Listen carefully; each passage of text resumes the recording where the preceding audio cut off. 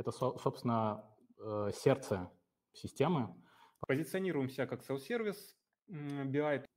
Вот я, я к себе драг-н складываю.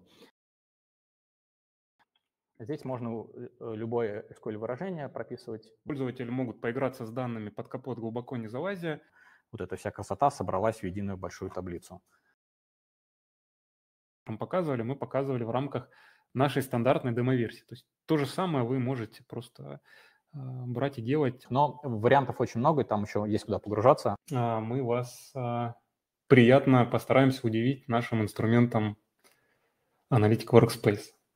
Эфир наш будет состоять из двух частей. Первый, а, ну, небольшой, 15-20 минут, мы постараемся в рамках обзорной презентации рассказать про Analytic Workspace, потому что показать все это, в принципе, невозможно. Там есть а, моменты организационные, внешние моменты, которые в самой системе не показываются.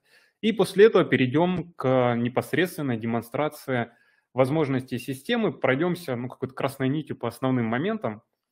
По неосновным моментам, по любым моментам вы сами сможете посмотреть систему, если а, если еще не смотрели, да, у нас есть возможность зарегистрироваться в демо-версии. Внизу под презентацией есть две кнопки. Регистрация в демо-версии. Они откроются в новой вкладке. Я предлагаю сейчас вам не регистрироваться, просто знайте, что можно нажать, оставить там на другой вкладке браузера и потом это сделать. И есть вторая кнопка «Присоединиться к комьюнити». У нас есть сообщество в, э, в Телеграме, где мы там ну, много интересно рассказываем. А, тоже можно нажать, в отдельной вкладке откроется и потом присоединиться, чтобы сейчас не тратить время на э, эти действия. Второй момент. У нас, э, если вдруг у вас экран там небольшой, ну, не знаю, где вы на планшете смотрите, на ноутбуке, и нашу презентацию либо демонстрацию будет видно мелковато, да, то можно ее растянуть на весь экран. Вверху над презентацией справа есть такие стрелочки в две стороны. Разворачивайте, тогда наши прекрасные лица скроются за всем этим делом, но зато презентация будет на весь экран. Все, коллеги, начинаем. А, собственно, сегодня мы встретились с вами для того, чтобы рассказать про Analytic Workspace. Это российская BI-система а, высокого уровня самообслуживания self-service, а, про которую, собственно, мы и хотим рассказать, а сделать упор на каких-то основных фишках, которые у нас есть. Для начала давайте познакомимся, потому что я много всего наговорил, но вот мы еще не представились. Три участника сегодня будет э, вещать. Да, первый – это сама система Analytic Workspace, это наша разработка. Далее представлять систему будет э, два спикера. Я, Михаил Греков, руководитель отдела продуктовой разработки Analytic Workspace, и мой коллега Александр Кварацхеля, Саша – архитектор Analytic Workspace, эксперт большой по ETL – кандидат математических наук. Ну, позже Саша слово получит и сам, ну, сами поймете уровень его экспертности. Давайте обзорно проговорим, ну, мы расскажем, что такое Analytic Workspace в основных пунктах. Ну, во-первых, мы входим в реестр российского ПО, это полностью российское решение, Минцифры проверил, одобрил, э, все есть. Можем э, работать в двух вариациях. Это он-премис, когда в закрытый контур компания к себе ставит на свои сервера. Ну, может быть, он не закрытый, выход в интернет может быть, но а, сервера компании. Можем работать в облаке. А, у нас есть партнерство с Яндексом, партнерство с облаком от Сбера. То есть мы разворачиваемся там, и, собственно, потребление идет отдельно за облако, отдельно за систему. По количеству, по вариации лицензирования у нас есть три вида периодичности лицензий. Бессрочные лицензии, есть лицензии годовые. Бессрочные и годовые, они могут быть в формате on-premise. Для облачных форматов у нас есть ежемесячная лицензия. Есть три вида пользователей. Разработчик, аналитик и специалист. Разработчик, собственно, все может. Аналитик а, – это такая промежуточная ступень эволюции между разработчиком и вьювером. Мы ему даем возможность работать с а, дашбордами, виджетами, настраивать это все, но не даем возможность подключаться к источникам и моделям, оставляя это за разработчиком.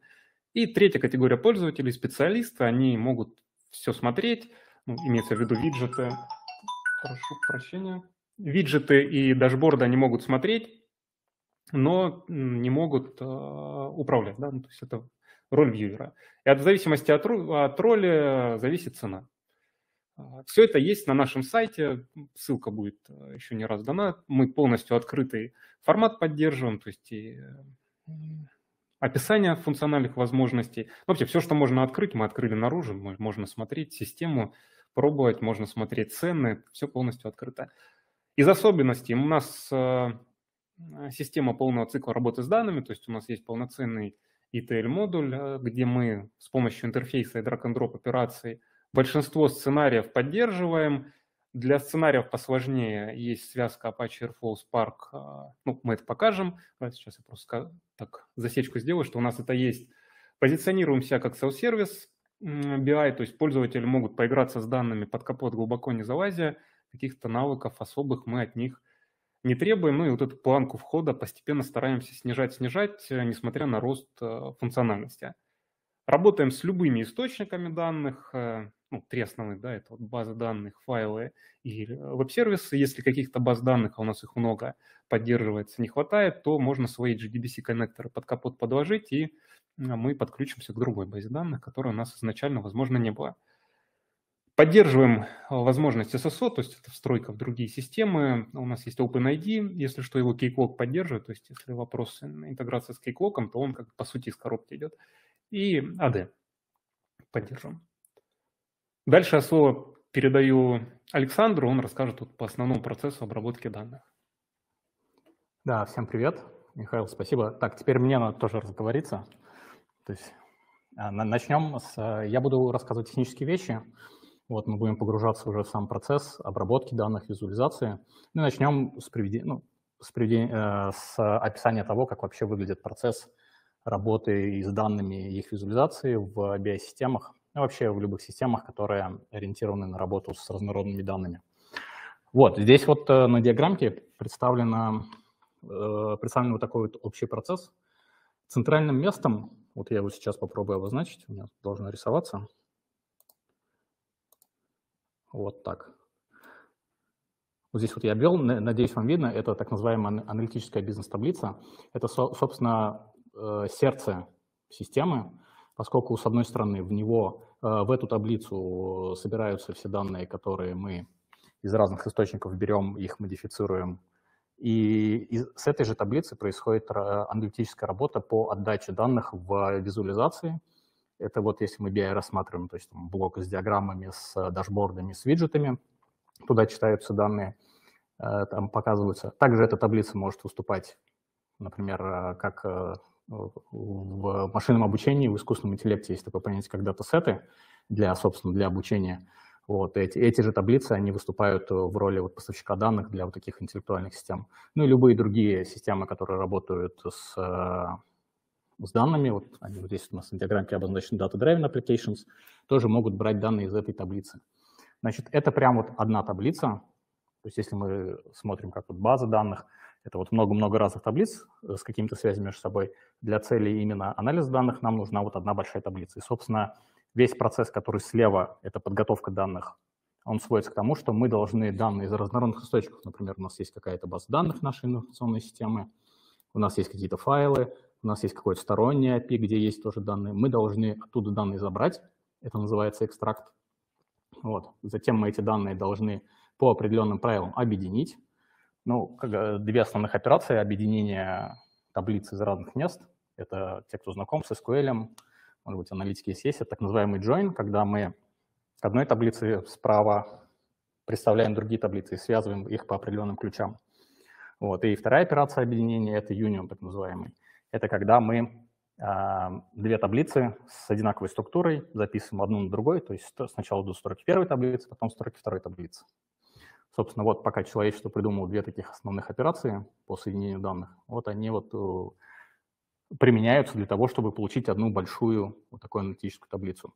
Ну и, собственно, после того, как мы на этапе трансформации данных, то есть такое объединение, возможно, какой-то модификации внутри, мы э, должны их загрузить, вот эта операция называется load. Это тоже не совсем тривиальная операция, поскольку э, хранение вот этих вот таблиц аналитических, они, э, хранение, оно должно быть э, специфически сделано. То есть эм, если мы говорим про базы данных, которые лежат, про таблицы, которые лежат в классических базах данных, PostgreSQL, Oracle, они там лежат так, что должны соблюдаться транзакционная целостность, должны соблюдаться определенные атомарность на операции, которые надежность и так далее – для таблиц, которые хранятся в аналитических СУБД, э, определяется основное требование. Нужно очень быстро записать туда данные и очень быстро отдавать э, оттуда строки ну причем не просто отдельные строки, а еще агрегированные. То есть основные операции, например, когда мы какую-то диаграмму рисуем, мы, соответственно, выполняем операцию именно вот, например, мы говорим, мы сгруппируем там по годам и просуммируем какой-то показатель. И вот у нас получается такая вот кусочек данных из этой большой таблицы, где по годам у нас какие-то э, целочисленные показатели. Вот, собственно, поэтому аналитическая таблица, она вот лежит в определенных СУБД, которые еще называют колоночными СУБД. Э, в нашем случае, вот, следующий слайд с архитектурой, быстро поясню. Так, значит, в нашем случае эти данные лежат в СУБД ClickHouse. Вот я сразу отведу. Вот она вот здесь вот находится. Это та СУБД, которая обеспечивает вот быстрые операции по записи многих-многих-многих миллионов строк и затем э, выполнению над этими строками вот таких э, операций для э, отображения на витринах. А наше приложение работает в вебе, то есть для ее работы нужен только лишь один из последних браузеров. За это отвечаю, за работу вот этого именно веб-части приложения у нас отвечают вот компоненты, которые здесь обозначены. То есть это само приложение, прям отдельное, которое запускается в браузере, оно соединяется с веб-сервером, который уже вот всю информацию для работы этого приложения отдает. Причем у нас так сделано, что у нас есть еще так называемые веб-сокеты, то есть мы отдаем данные быстро, и человеку вообще, который работает с приложением, ему кажется, что он вот в какой-то такой десктопном, э, десктопном виде с ним взаимодействует. Все настройки, которые пользователь выполняет в веб-части приложения, у нас через э, определенные очереди внутренние передаются на компоненты, которые уже отвечают за построение основных процессов. То есть, например, если мы настраиваем а, нашу витрину данных, то есть мы указываем, как у нас соединяются таблицы, ставится задача в блок, э, в блок через, через определенную очередь, в блок, который здесь обозначен как ETL. Собственно, ETL — это и есть Extract, Transform, Load те основные операции, которые на предыдущем слайде показывали. Здесь за это у нас отвечают такие подсистемы, как Airflow, это оркестратор так называемый, то есть сам процесс сложный по обработке вот этих вот заданий, э, загрузки, трансформации данных. Э, это, этот процесс нужно оркестрировать, чтобы все в своем порядке выполнялось. За это отвечает Airflow. За выполнение, собственно, операции работы с данными у нас отвечает Spark. Также у нас есть компонент, который э, называется Drill – он отвечает за то, чтобы, когда человек работает в интерфейсе, и он собирает, например, витрину из многих миллионов таблиц, все равно хочется в режиме реального времени увидеть, э, как у нас эта витрина выглядит в предпросмотре. Ну вот когда будем показывать, я вам продемонстрирую эту часть.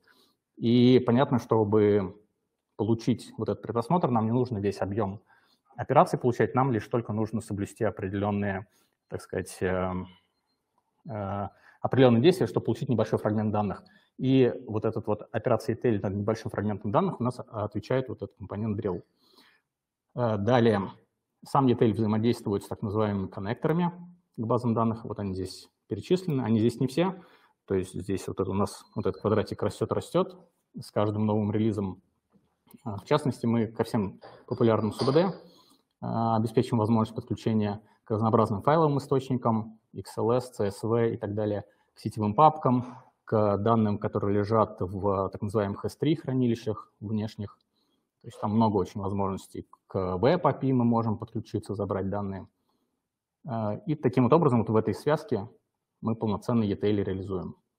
Далее у нас по хранилищам данных, как я уже сказал, у нас основные, собственно, вот эти таблицы данных, аналитических данных у нас хранятся в ClickHouse.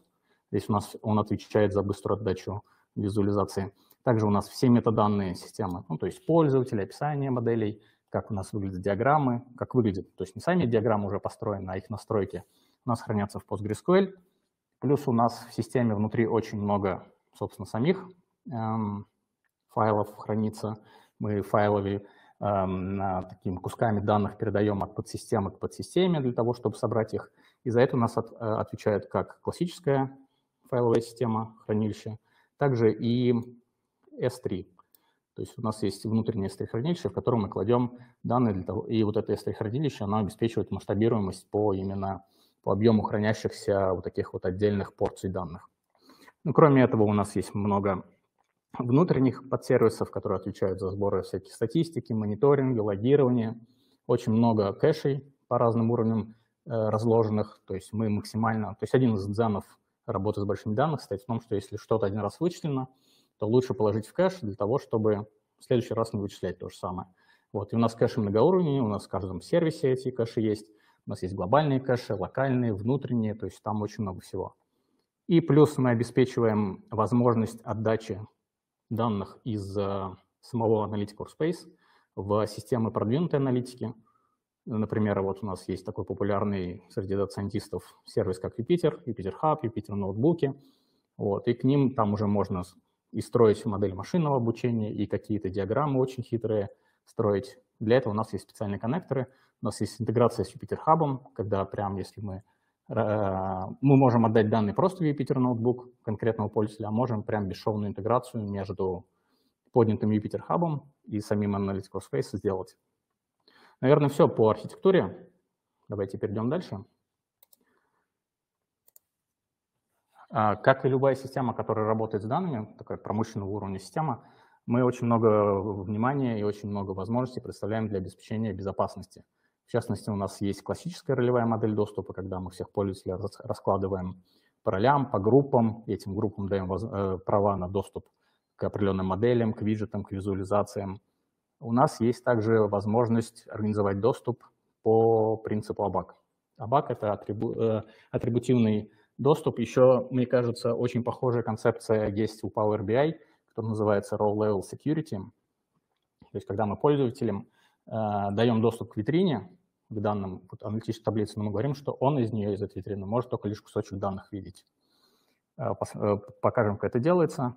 Ну и плюс одна из возможностей – это обычная работа в закрытом контуре. Мы не предъявляем э, к тем инсталляциям, экземплярам нашей системы, которые у клиентов ставятся, каких-то требований, потому чтобы держать постоянно э, соединение с неким облачным местом, где там что-то происходит. Вот, и поэтому вы можете взять и в, своем закрытом контуре полностью развернуть систему и работать полноценно.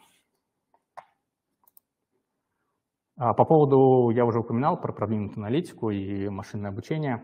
Да, мы рассматриваем случай, э, вариант использования нашей системы как одна из промежуточных Э, промежуточных мест, которые обеспечивают вот создание именно моделей машинного обучения искусственного интеллекта.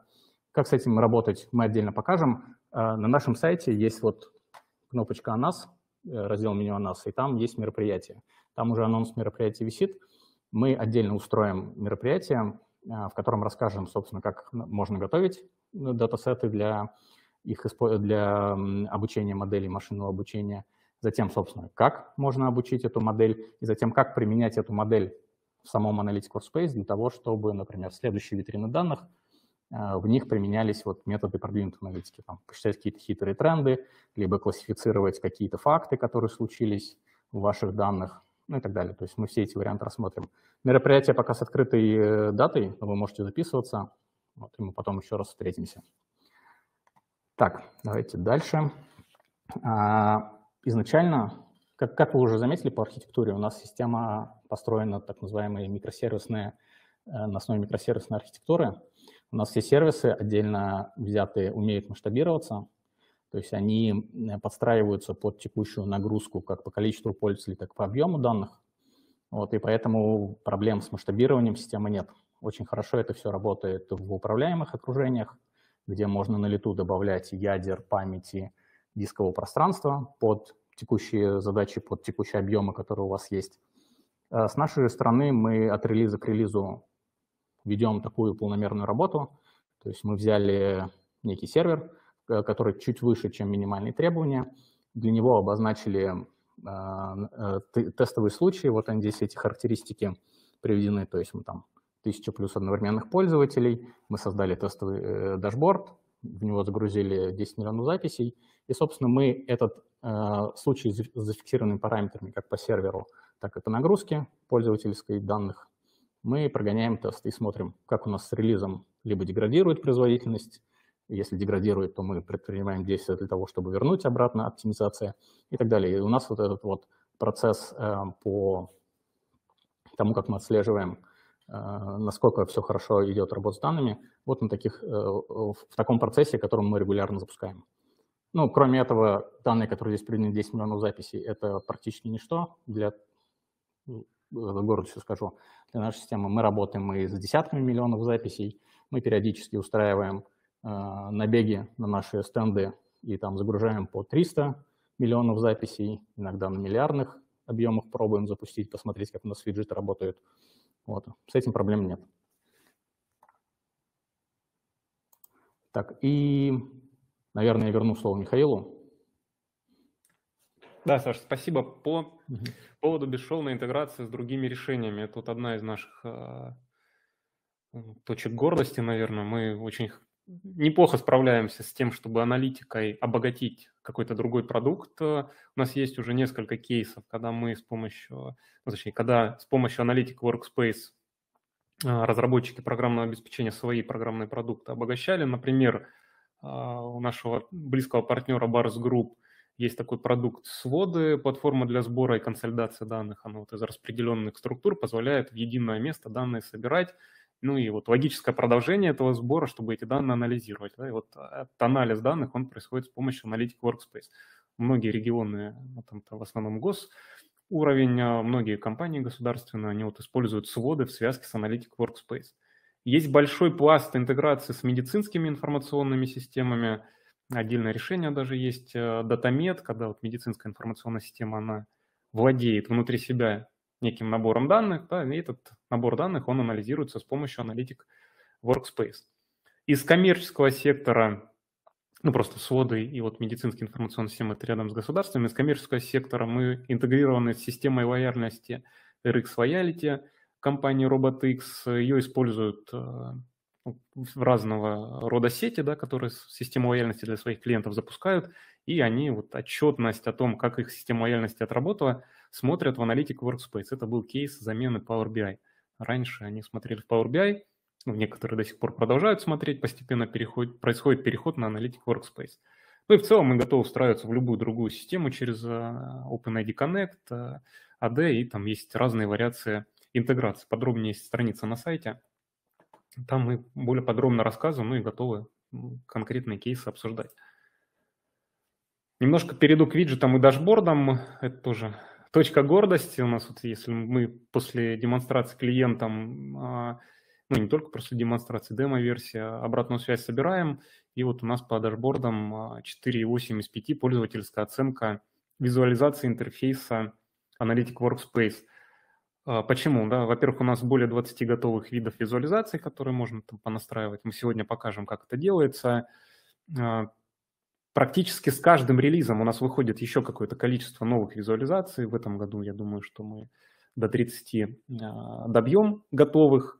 Ну, плюс есть возможность сделать свои визуализации за счет связки HTML, CSS, JS. На следующем слайде чуть-чуть покажу. И еще одна такая опция, которая вроде бы мелочь, но приятно. У нас две цветовые палитры. Одна из них дизайн палитра. То есть в самом начале разработки у нас там, шикарные дизайнеры напряглись и сделали визуальную палитру, которой, собственно, невозможно дашборд испортить. Да? То есть куда бы там ни ткнули, цвета будут сочетаться, и это позволяет быстро сделать красивый дашборд, если не нужно оглядываться на а, брендбук. Если нужно оглядываться на брендбук, можно использовать любой цвет по коду на выбор. То есть у нас э, концепция, что по умолчанию красиво должно быть, вот ее стараемся придерживаться. Я уже говорил на прошлом слайде, что у нас есть интеграция, ну, возможность свои виджеты создавать. А, мы интегрированы из коробки с eCharts, это библиотека, в которой там 400 плюс а, готовых визуализаций, но можно и другие библиотеки подключать.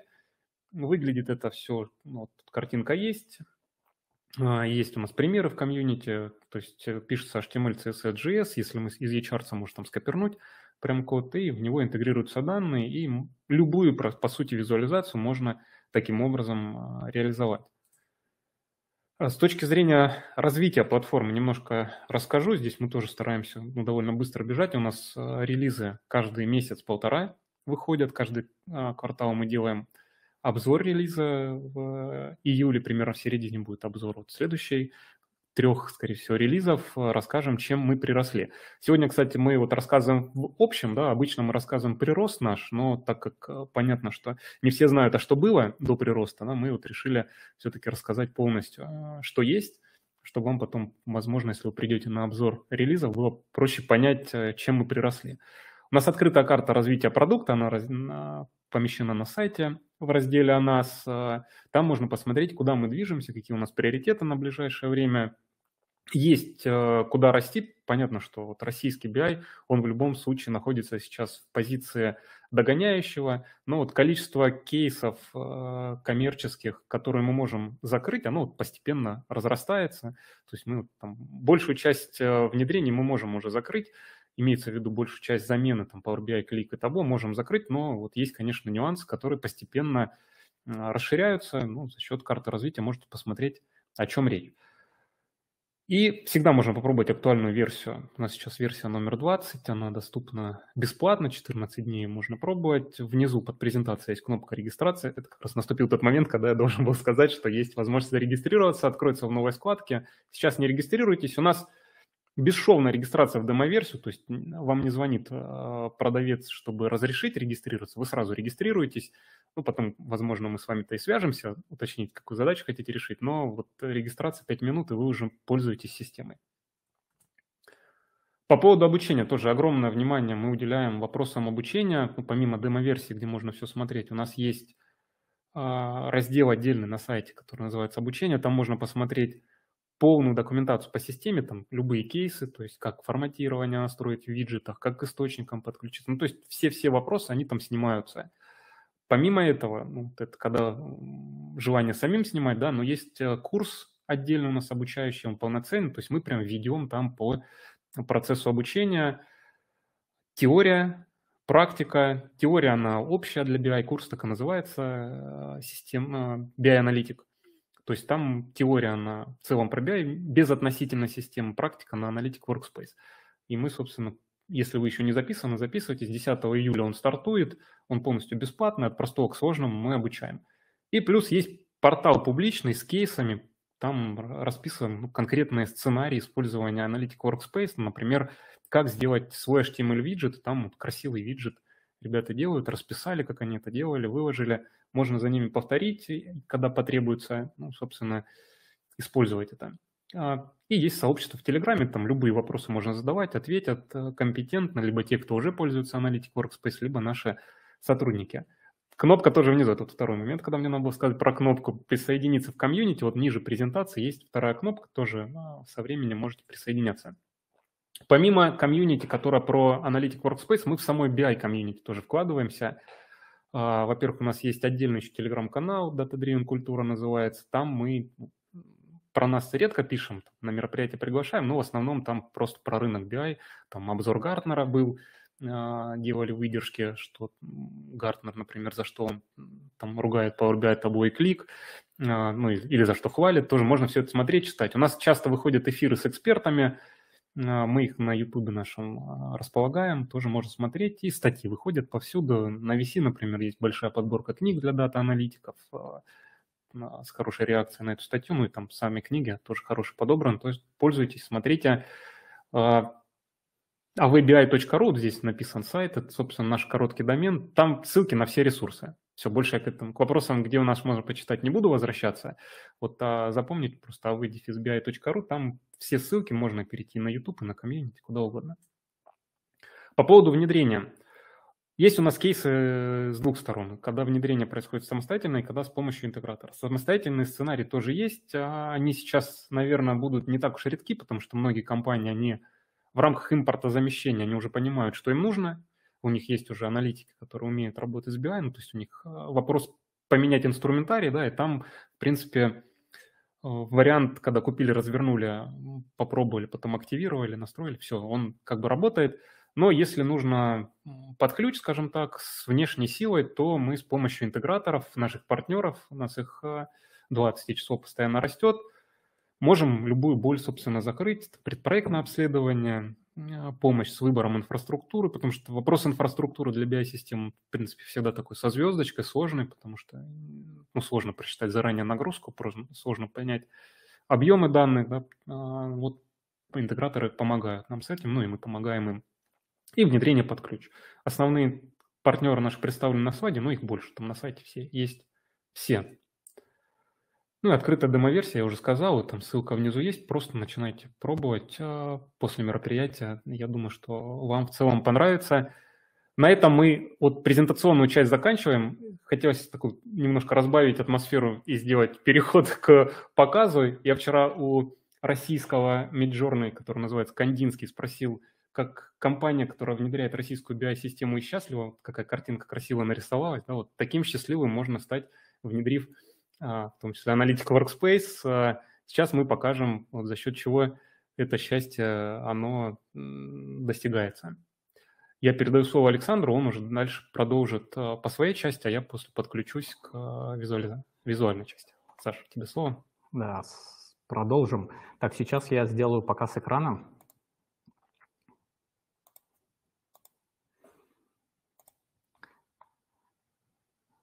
Все нормально, да? Пошло?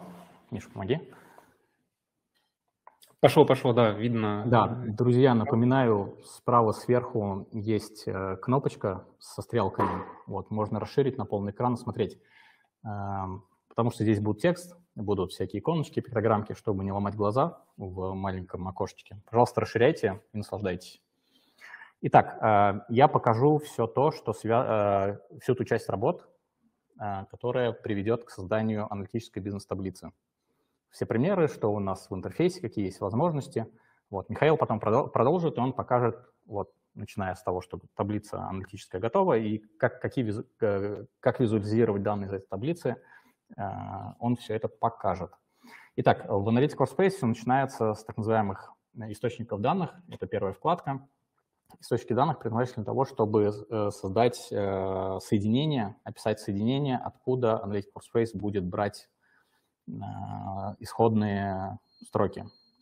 Итак, вот у меня одна запись здесь уже есть. Вот, например, я сейчас быстренько набросаю такой примерчик, не очень смысловой, но все основные операции мы увидим.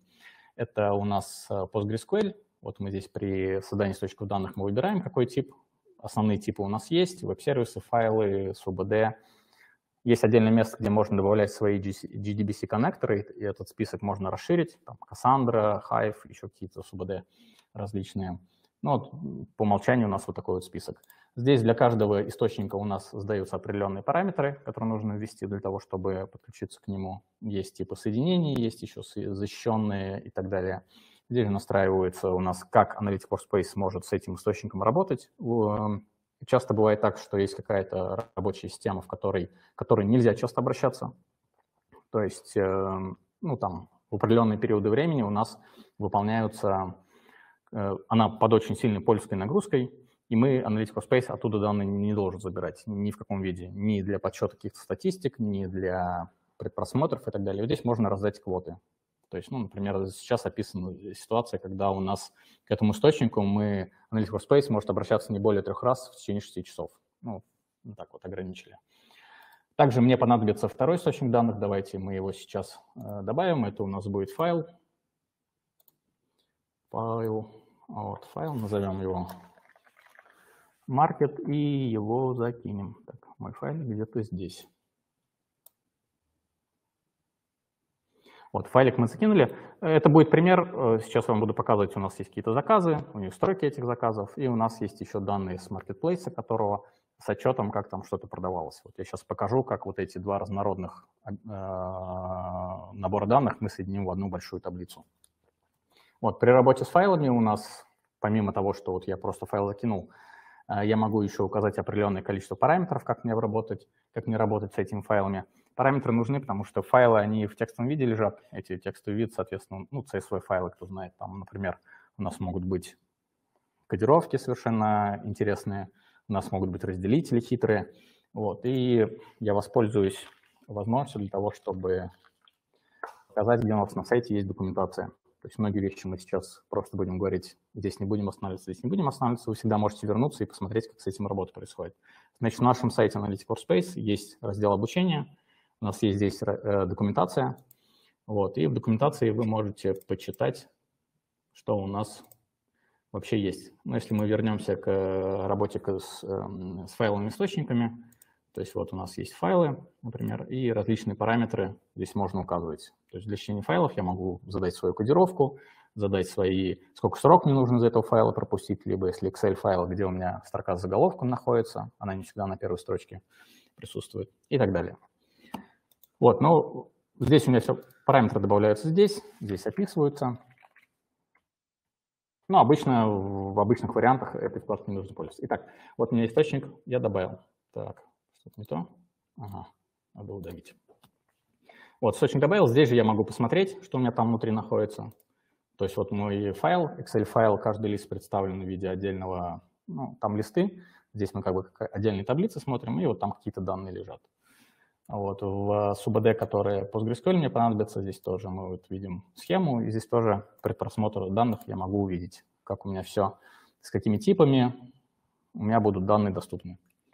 Далее идем э, в модель. Теперь я создаю, это у нас раздел называется модели. Модель — это как раз э, здесь описываются правила, как у меня мои данные из источников соедин... должны соединиться, вот, чтобы получить вот одну большую аналитическую таблицу. Мы называем это все вот правила описания, способ соединения данных далее моделями.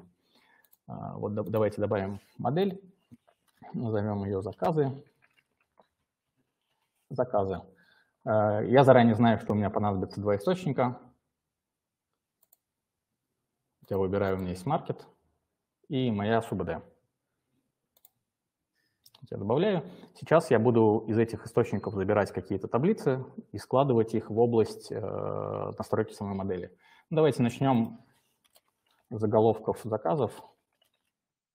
Быстренько поищу. Да, вот они, orders. Вот я, я к себе and складываю. Значит, когда таблица оказывается здесь, она э, на ее, вот после этого можно, в принципе, вот сейчас я закинул and одну табличку, можно уже считать, что я уже построил не, не, некую аналитическую таблицу. Она, правда, вырожденная, она состоит всего из одной реальной таблицы, но для нас, для нашего случая, мы этим продолжим чуть-чуть попозже составлять общую модель. А пока пройдемся по интерфейсу. Итак, это уже мы сказали, что это у нас таблица, место, где, куда мы будем складывать источники данных и их соединять. Ниже находится режим предпросмотра, то есть это как раз то место, где я могу увидеть, какие данные примерно у меня будут после того, как я составлю общую свою модель. Почему я говорю примерно? Потому что, как мы уже сказали, ну, вот эта таблица orders, она может занимать очень-очень-очень много места. То есть там, например, за несколько лет там может накопиться и сотни тысяч записей, и миллионы записей. И для того, чтобы не блокировать интерфейс в процессе работы системы и в то же время дать пользователю возможность увидеть, как примерно будут выглядеть данные, вот есть окошко предпросмотра. Да, здесь вы можете увидеть не все записи, которые в таблице Orders есть, но примерный вид, то есть список столбцов, как Analytic Workspace видит вот текущую составленную модель, вот они здесь все перечислены, и какие примерно данные, то есть где у нас будут находиться даты, где там идентификаторы, вы уже можете оценить. Далее, к этой таблице, например, я могу сейчас добавлять определенные вычли, вычислимые, э, вычислимые поля. Вычислимые поля — это просто уже к, составленной, соединенной большой аналитической таблице я могу какое-то количество столбцов еще дополнительно добавить. Значит, эти вычислимые поля нужны для того, чтобы, например, ну вот у нас есть случаи, где фамилия, имя, отчество записаны в одном поле, а мне, ну, или наоборот, в трех полях, а мне нужно соединить в одно и представить в итоговой витрине как вот одно просто поле. Поэтому я могу здесь использовать, добавить вычислимое поле и, применяя какие-то SQL операции, вытащить, либо, наоборот, соединить фамилия, имя, отчество из моих исходных данных. Давайте я такое очень простое поле добавлю, которое просто будет выводить э, целое случайное число от единицы до от, от 0 до, до 100. Здесь можно э, любое SQL-выражение прописывать, можно поля другие указать, но я пока так сделаю. Я выбираю, выбираю, какое у меня должно быть, у меня получится целое число. Плюс здесь же я могу задать, если я с этим полем работаю во всех визуализациях одинаково, я могу сказать, что у меня вот сразу базовый цвет для этого поля. Если у меня в этом поле будет хран... э, находиться справочник, я могу сразу отметить, что здесь у меня будут справочные данные. Справочные данные отличаются от обычных тем, что это категориальные так называемые данные. То есть у меня не просто э, хранятся там какие-то строки, а этих строк определенное количество, и их э, все их уникальные значения из этого столбца я могу рассматривать как некий справочник. Ну, например, регион России у меня будет везде там расписана Московская область, э, Татарстан, Ростовская область и так далее. Очень-очень много данных, но их уникальная, э, уникальный набор – это будет как раз справочник. Там, определенное количество. Можно сказать, что он будет являться ссылкой, это поле. Но мне пока ничего не надо, это уже в документации можно оценить, как это будет выглядеть. И вот у меня добавится сейчас поле, вот это случайное значение, здесь прописано, рандом я сгенерировал. Такие же параметры у меня можно настроить для обычных полей, не только вычислимых. То есть я тоже здесь могу посмотреть, как у меня выглядит э, метаданные этого поля. И также здесь параметрами я могу сказать, какие у меня столбцы будут являться справочниками. Здесь же я могу настраивать так называемые иерархии. Иерархии — это я заранее могу э, помочь тем если я точно знаю, что у меня два каких-то поля могут выступать в виде там родитель, э, парень, ну не, не парень, а как бы э, сгруппировать, сразу объявить правила группировки. То есть я, например, могу сказать, что у меня есть customer ID, и под ним ему принадлежат уже сами заказы, там, order ID. Да, я могу сразу сказать, что вот у меня в моей модели данных может присутствовать такие иерархии. Эти иерархии потом помогут для построения а, визуализаций, в которых вот эти иерархичность может соблюдаться. Давайте одну иерархию добавим, назовем ее Q. Вот, и здесь я скажу, что у меня есть, а, например, есть Customer ID, и под ним лежат Order ID. Вот таким вот образом. Вот, у меня сейчас иерархия будет создана, вот здесь я могу предпросмотр посмотреть, как у меня будет выглядеть. То есть это у меня вот идентификаторы кастомеров, и если я раскрываю, там сейчас у меня здесь через некоторое время все, предпросмотр срабатывает. Вот у меня здесь, э, собственно, идентификаторы заказов. Здесь все в целых числах, но, понятно, в реальных случаях здесь будет выглядеть, например, customer name и внутри order name. Вот, и здесь будут уже такие более реальные варианты использоваться.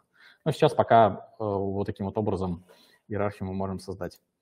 Далее у нас есть еще иерархии, которые э, работают с датами. Очень часто, например, у меня есть order ID, и мне нужно создать такую иерархию, в которой э, будут года, месяцы и дни. То есть я вот таким вот, я потом работать с этими э, заказами буду таким, что я посмотрю, как у меня там ситуация по годам была, потом отдельно внутри по месяцам и там, по дням, если нужно. Я могу здесь же добавить эту иерархию, вот для этого поля у нас специально для тех э, полей с типами дата у нас здесь появляется кнопка «Создать иерархию». Я здесь могу указать, что вот в моей иерархии, которая будет называться А, я вытаскиваю года, месяцы и дни. Могу полгодия, квартал, но неважно. Вот создадим теперь такую иерархию.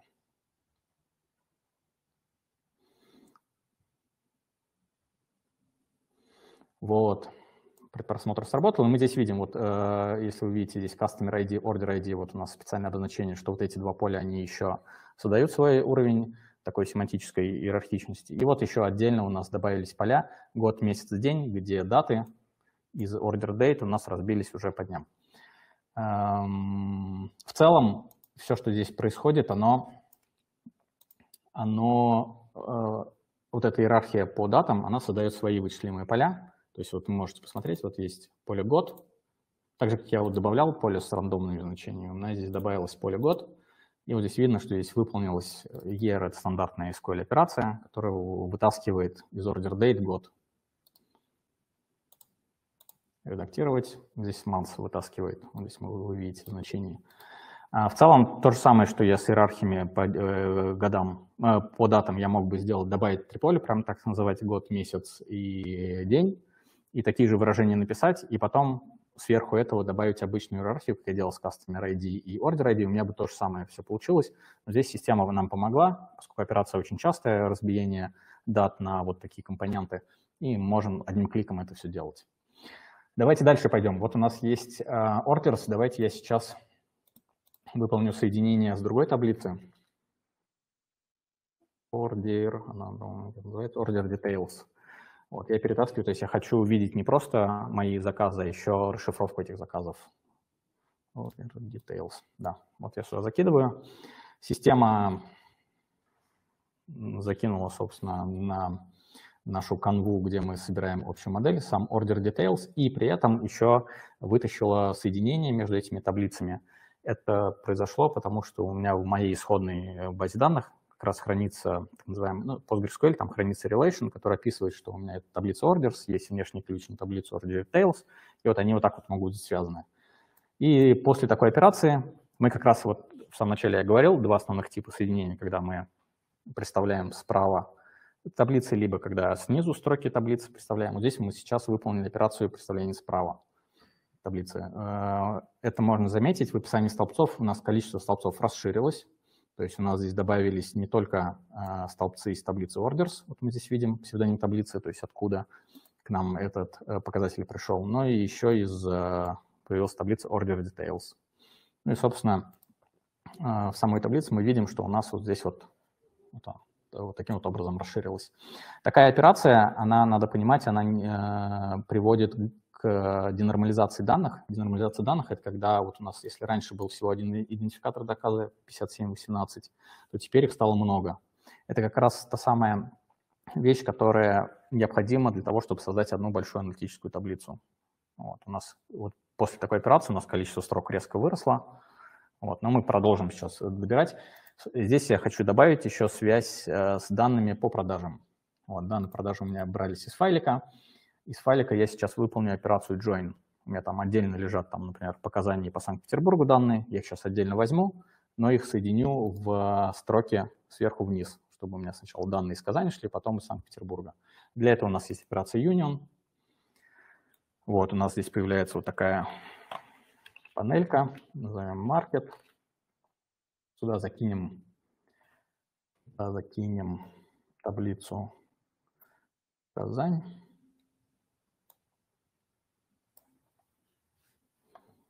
Санкт-Петербург. И после этого давайте их свяжем, добавим join. Из моей основной order details я вот установлю связь на, ну, куда-нибудь сюда. Точно не знаю. При установке связи я могу, соответственно, указывать, как у меня должно выглядеть это соединение. То есть это либо inner join, так называемый, то есть ключи из этих разных мест должны совпадать, либо left join, right join. Ну, кто знаком с этим, он, он сможет сделать. Ну, например, как-то так создать. Вот, у меня после этого появилась вот такая вот связка.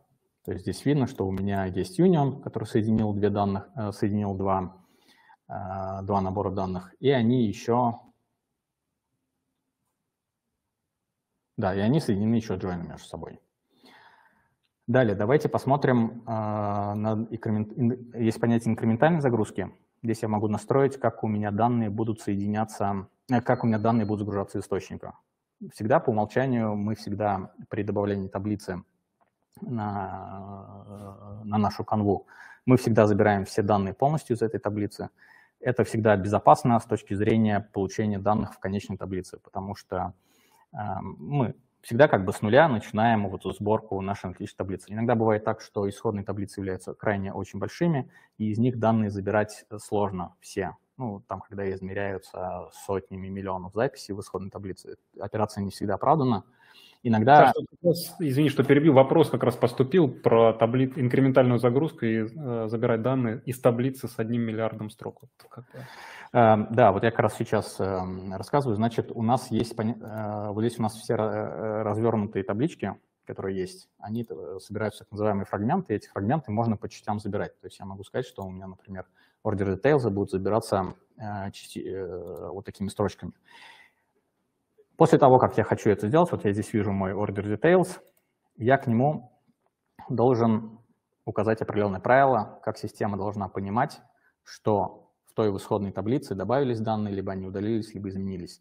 Напоминаю, мы работаем с внешними системами как с черным ящиком, доступа к их логу, ну, так называемому логу транзакций практически никогда нет – мы должны, аналитик Workspace должен сам понять, что там изменилось, там где-то в том миллиарде записей, для того, чтобы оттуда что-то забрать.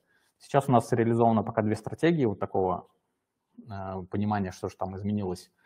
В целом я останавливаться на полях не буду, я просто хочу сказать, что инкрементальная загрузка может не, не применима не ко всем э, таблицам в исходных баз данных, но в ряде случаев, когда у нас есть либо так называемый лог изменений, то есть иногда часто бывает, что при записи в исходную таблицу у нас еще есть некий лог, в который выводятся операции.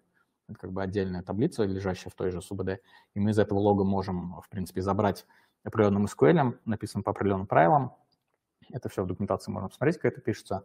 Я могу понять из того лога, как у меня изменились в исходной моей таблице.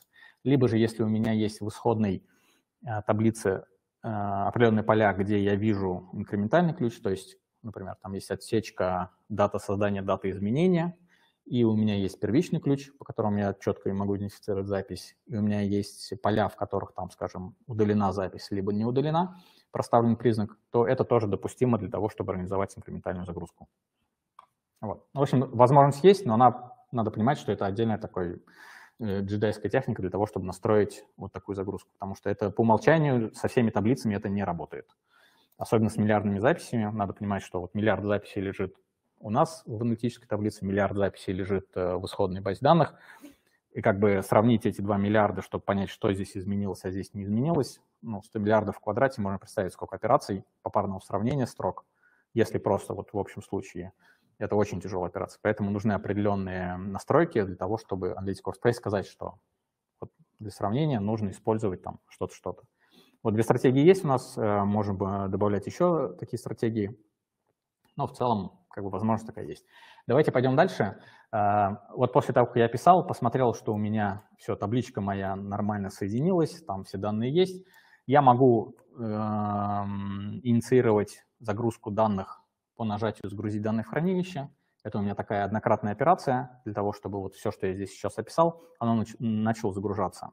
Также я могу поставить на расписание, для того, чтобы показать, как работать с расписаниями. Давайте я другую модельку открою сейчас на соседней вкладке.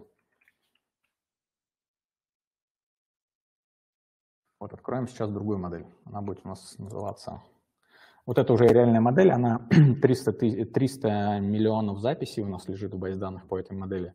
Здесь можно видеть, что у нас есть, вот есть сложные какие-то записи. Тут у нас, как вы можете видеть, не только розовенькие записи, которые мы э, как таблицами перетащили из источников.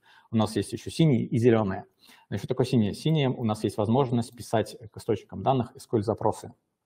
То есть вы можете забрать не просто таблицу, например, там, вот, в данном случае, что у нас там таблица, таблица сценарий, ну, нет, какая-то таблица, дефолт, ну, неважно, то есть есть какая-то таблица, мы забираем оттуда данные. Мы здесь можем указать, что я не просто таблицу как таковую беру, а я пишу к ней SQL-запрос.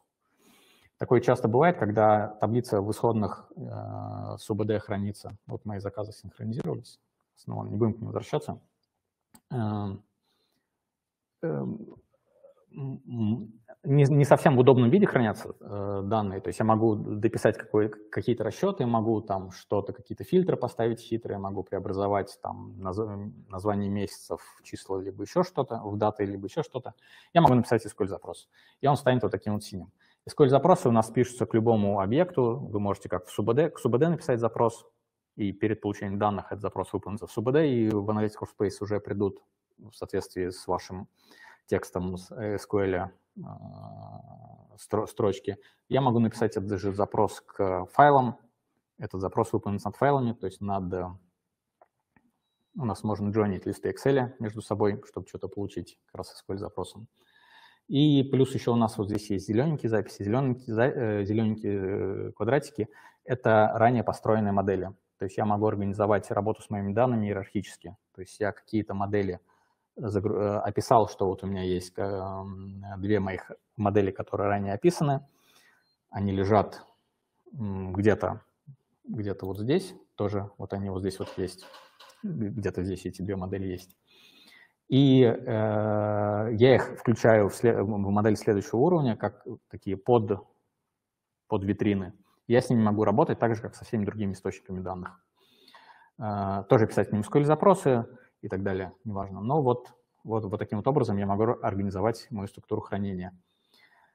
И давайте далее пойдем, если вот этих вот соединений, юнионов, джойнов, там разнообразных нам не хватает, я всегда могу докастомизировать все, что мне нужно. У нас есть так называемый редактор SQL, вот он спрятан здесь справа сверху под э, таким значком с звездочкой Здесь пишутся дополнительные правила работы с, с данными. Углубляться сейчас не буду, потому что здесь уже птичий язык. Скажу на питоне, с использованием Spark э, API я могу добавить э, определенные операции определенные действия после того, как я уже получил, либо до того, как я получил данные из источника, либо после того, как я получил.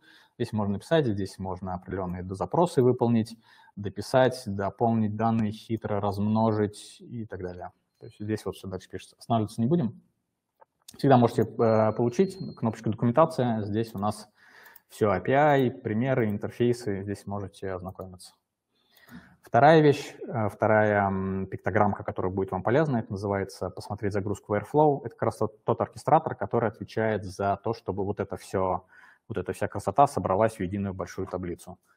Значит, мы открываем Airflow. Здесь у нас открывается стандартный интерфейс. Кто работал с Airflow, он знает, э, но для тех, кто, в принципе, редко с этим имеет э, дело, здесь интересно является что? Здесь можно увидеть граф, как у меня будет собираться мои данные. То есть вот вся вся вот эта структура, она будет вот по таким вот правилам соединена. Здесь есть параллельные, эм, эм, то, что может параллельно, ну, например, выгрузка данных из разных мест может параллельно выполняться, и вот они э, параллельно здесь описаны. Э, что-то у нас выполняется последовательно, например, мы сначала должны в параллели мы все выгружаем, потом последовательно мы должны соединить и дальше выгрузить в ClickHouse. Ну, собственно, вот такой граф операций. Также здесь будет полезно посмотреть на историю загрузок. Вот мы видим у нас было четыре загрузки этой модели. Эта модель у нас э, один раз отвалилась, слава богу, что не последний раз. Иногда бывает последний раз. Ну, в последнем столбце мы видим красное. Соответственно, мы здесь ищем, ищем, на каком шаге у нас что было не так. Здесь можем провалиться, кнопочка логов и почитать. Здесь уже технический лог, но в целом здесь есть места, где написано, почему что-то могло пойти не так. Со временем работы с системой можно уже, как бы изначально выглядит, может быть, не так, э, как бы по-человечески, но для дата-инженеров, то есть тех людей, которые именно копаются в данных и понимают, как это все устроено, здесь все достаточно информации есть. Собственно, вот здесь же можно посмотреть, э, если нужна оптимизация, таблицу Ганта. Ну вот это очень большая модель, здесь вот как раз 300 миллионов загружалось. Давайте я вам таблицу с Гантом покажу вот здесь. Здесь тоже Airflow. Открылась, мы видим, вот наша загрузка прошла идеально и можем посмотреть, пооптимизировать. В частности, мы здесь видим э, все шаги, которые у нас были, то есть загрузка из order details, загрузка из э, ордеров и так далее. И здесь видим время выполнения каждого шага, сколько времени задача провисела в очереди, есть так называемая очередь, в которой ставится эта рефлоуская, queued, ну, буквально там полторы секунды она в очереди висела, и потом за 0,9 секунд еще выполнилось. И вот самое сложное, самое долгое, 28 секунд, это у нас как раз был трансформация, то есть соединение вот этого всего в большую таблицу. А, иногда часто бывает, что у нас долгие операции именно выгрузки, когда что-то модель начинает плохо работать, мы всегда можем туда зайти и посмотреть, какой шагов тормозит. Да, то есть может быть какая-то СУБД сторонняя начинает очень медленно давать данные под нагрузкой, например, она сама работает, а тут мы еще туда ходим с какими-то вопросами к ней, и вот она может, это все можно здесь увидеть. Собственно, э, это у нас Airflow, и давайте посмотрим третью, так, третью вкладочку, это называется настройки. Э, вкладочки настройки мы настраиваем четыре вещи. Первое – это пользователи, то есть мы указываем, какие пользователи по отдельности у меня могут иметь доступ к этой модели. То есть я, модель у меня изначально, я как владелец, я только с ней работаю, я, вижу, я могу только на ней строить витрины данных. Все виджеты, которые попытаются забрать данные из этой модели – не получит их, потому что владелец только я. Но здесь я могу отдельно добавить еще определенное количество здесь. Да, вот я могу по имени пользователя найти этого человека. Также у нас есть э, так называемые группы пользователей. Это э, люди, которые, ну, те же самые пользователи, только соединены в какие-то группы ролевые. Вот. И я могу, например, вот здесь мы видим, что есть у нас группа службы поддержки, здесь все наши ребята, которые оказывают поддержку пользователям, отвечают на вопросы.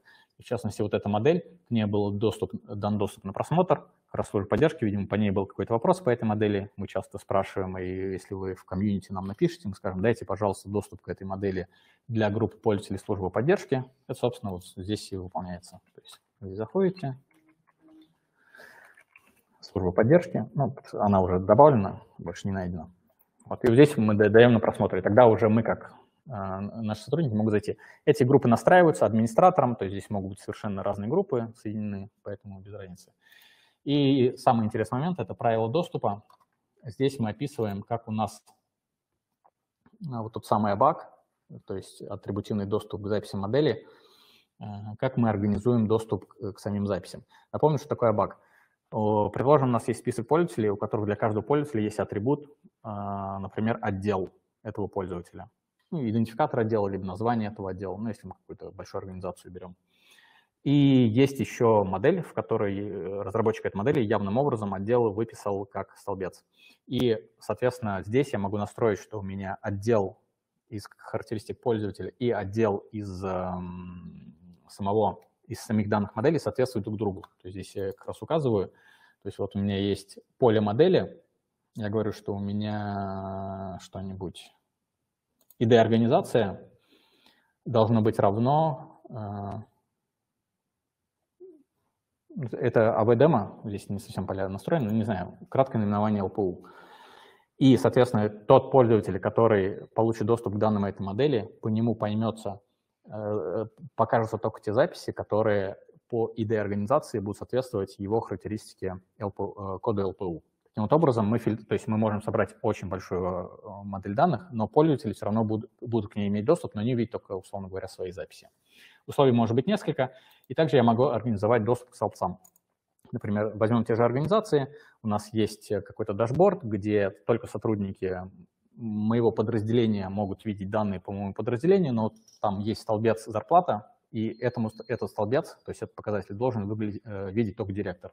Поэтому я здесь могу создать группу условий, то есть я говорю, что у меня столбец, э, например, продажи план, выглядит должность содержит директор. Директор – руководитель. То есть у меня будет пользователи, у которых будет должность там руководитель отдела разработки Analytics Workspace. Вот, и если там слово руководитель встретилось, то у меня вот этот план продажи увидит. Могу добавить условия, например, или должность заместителя руководителя. Могу написать. В целом, отдельный большой вопрос, вот я сейчас выбираю там должность, руководитель пишу, отдельный вопрос, как настраиваются вот эти все связки. Останавливаться сейчас не будем, есть документации, может быть, если много вопросов будет, мы отдельно посвятим этому отдельный запрос, но это все настраиваемо, то есть мы указываем, какие атрибуты пользователям соответствуют. И давайте перейдем к планировщику. Э, я до этого нажимал кнопку «Запустить модель», загрузку, я могу делегировать это внутреннему планировщику, я могу указать, что, вот, например, э, планирование основывается на основе времени, то есть я указываю, в какие дни недели, в какое время, там, например, в три ночи у меня будет это дело запускаться. Все указано, обновление модели настроено по расписанию понедельник, вторник, среда в три ночи. Могу сделать, это мышекликательный интерфейс, но могу сделать более такой продвинутый, называется крон-строка.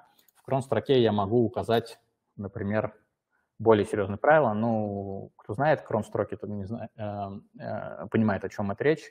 Кто не знает, время познакомиться, потому что вещь хорошая. Я, например, хочу в 13, 14 и 15, ну или там в 9 утра сделать загрузку, э, в 13 и в 18. Вот такими компонентами пишется. Вот у меня здесь обновление настроено в 9, 13, 18 каждого дня. У меня моделька будет обновляться. Также у меня могу настроить обновление на основе задач, то есть это когда на случай, когда у нас одни модели включены в другие модели, я могу указать, что вот мне нужно текущую витрину моей текущей модели пересобрать, когда у меня будет обновлена вот эта вот модель. То есть та модель, напоминаю, что вот эта моделька, которая называется кругом у партнера, она включена сюда, внутрь. То есть это у меня такая э, цепочка создания моделей, и для того, чтобы не настраивать расписание, подгадывать, там, это успеет собраться та модель. И после этого мне нужно мою, ну, там, два часа, поэтому я заложу там через два часа, чтобы такие расписаниями не, не заморачиваться, я могу всегда указать, что у меня моя модель собирается после того, как, сразу после того, как у меня соберется данные для другой модели. Собственно, я очень много времени потратил, прошу прощения, мне, наверное, пора завершаться с подготовкой данных, но вариантов очень много, и там еще есть куда погружаться, поэтому передаю слово обратно. Прошу прощения за долго сразу. Саша, спасибо, да, я с удовольствием тоже слушаю, когда ты рассказываешь. А теперь, так, ты завершил, вот а, счастливая компания снова на экране. Я теперь покажу экран, мы а, представим ситуацию. Да, вот а, произошло подключение к источникам, настройка модели, и теперь нам нужно с этими данными, собственно, красоту какую-то наводить, анализировать их. А. Сейчас расшарю экран и покажу, как происходит визуализация данных. Кажется, про визуализацию данных... А, так, тут режим такой, что я не понимаю, начал ли я показывать или нет. Саша, скажи, пошла? Да, да, все пошло, все хорошо. А, хорошо, я буду от обратного немножко. У нас, э, ну, напомню немножко про интерфейс. Кстати, все, что мы сейчас показываем, оно показывается на AVDemo. То есть э, то место, куда отправляет кнопка под презентация, это вот она, эта система, там можно совершенно бесплатно зарегистрироваться, абсолютно то же самое делает. Функциональных э, ограничений нет, ну, кроме каких-то объемных ограничений, только они у нас там на странице на сайте прописаны. А, мой коллега, разработчик, да, создал, например, источник, подключился к источникам, создал модели, дальше подключается специалист-аналитик, ну, разработчик может это тоже продолжить, но может подключить специалист-аналитик, Почему специалист-аналитик? Потому что его лицензия, она стоит дешевле, нет э, нужды покупать разработчика для того, чтобы настраивать виджеты и дашборды. Да, если разработчик настроит модель, дальше аналитик может подхватить.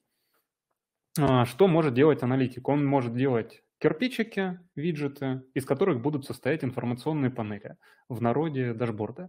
Я сейчас немножко от обратного хочу показать, я хочу от э, дашборда перейти к виджетам. Ну, например, вот, а, кстати, по интерфейсу вот я вижу информационные панели, которые мне доступны. Здесь я могу поиграться с фильтрами, посмотреть только мои, либо авторов а, конкретных выбрать, чьи информационные панели мне доступны, либо по датам посортировать, ну, либо по названию. Могу смотреть, если их очень много, могу в виде списка посмотреть, но это не очень наглядно, поэтому мне, например, вот в виде миниатюр обычно находится все быстрее. Например, я захожу в информационную панель, анализ, анализ показателей продаж. Постепенно загружается. Так, сейчас кнопочку скрыл кое-что.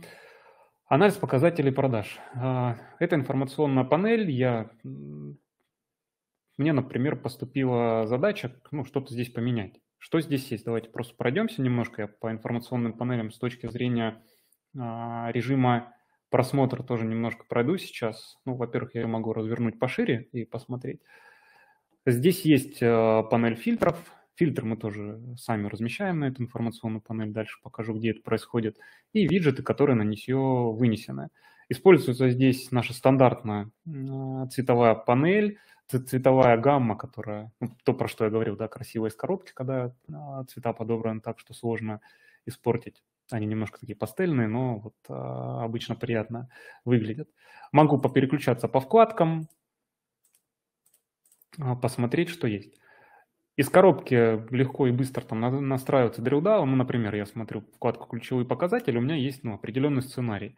А, вклад клиентов в объем прибыли. Я вижу клиентов, вижу, что вот это древовидная диаграмма, вижу, что JinsMac, мой клиент, он внес ну, наибольший вклад в объем прибыли проваливаюсь э, глубже, смотрю по категориям товаров, а, какие категории товаров, собственно, на этот вклад сделали, да, мужская обувь, ну и так далее, да.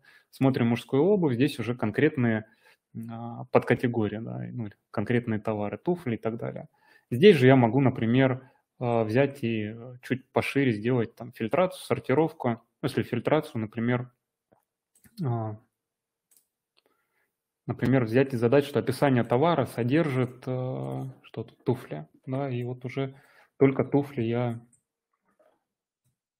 перестроиться только на туфли. Вот, вот там видно сзади, что просто не хочу закрывать, хочу ее сбросить, да, но там количество категорий стало меньше, и все остальные виджеты, они автоматически пересчитываются, ну, исходя из того, из тех действий, которые мы выполняем с информационными панелями. То есть если я там куда-то провалился, а, то все остальное тоже пересчитывается. Да, вот я сейчас по категориям товаров Jeans Mac вижу общую выручку на трендах, э, общую прибыль. Например, я хочу с этим виджетом ну, какие-то... Не, не нравится мне древовидная карта, хочу поменять вид. Я перехожу в режим редактирования дашборда. ну, либо вопрос даже стоит шире, не мне не нравится, а руководство сказало, что древовидная карта не очень. Вот я в режиме редактирования дашборда. Здесь, по сути, у нас а, представлена некая панель, на которую мы все размещаем. Из того, что все это что, да? Вот, во-первых, мы можем размещать фильтры, добавлять их а, в нужном количестве и размещать в нужном месте. Здесь мы выбрали размещение горизонтальное. Фильтры бывают а, разные Ну, то есть они там, если говорить по типу, это список, множественный выбор, календарь, двойной календарь, ползунки и поле ввода. Можно разные фильтры задать, и в зависимости от того, какой фильтр мы создали, да, его там в нужном месте красиво разместить. И здесь же размещаются виджеты, которые для меня доступны. А, из интересных фишек в данной части, когда я размещаю виджеты, которые относятся к одной модели, то они у меня по умолчанию между собой связаны. То есть нам не нужно никаких а, дополнительных а, манипуляций с виджетами делать. Если я там, выбираю что-то на одном виджете, да, оно автоматически, эти связи перестраиваются в зависимости от моего выбора на других виджетах. Но бывают ситуации, когда нам нужно на одну информационную панель разместить виджеты из разных моделей. Это тоже возможно, то есть я могу найти здесь виджеты из других моделей, и э, когда я их размещу здесь, перейти к настройкам связи. Ну, то есть здесь я выбираю там а, поля из разных моделей, ну, у меня сейчас просто поля из одной модели, я так для примера покажу, как это работает. Ну, например, выбираю там а, одни из одного виджета одно поле, из другого там виджета другое, точнее, два разных виджета, да, и добавляю между ними а, связи. Я говорю, что эти виджеты между собой связаны по ID заказа. Могу там еще по каким-то связям добавить. И после этого у меня взаимная фильтрация виджетов, которые относятся к разным моделям, тоже начинает срабатывать. Это очень удобно, когда нам не нужно, ну, когда виджеты к разным моделям относятся, но нам все-таки их надо в рамках одной информационной панели связано показать.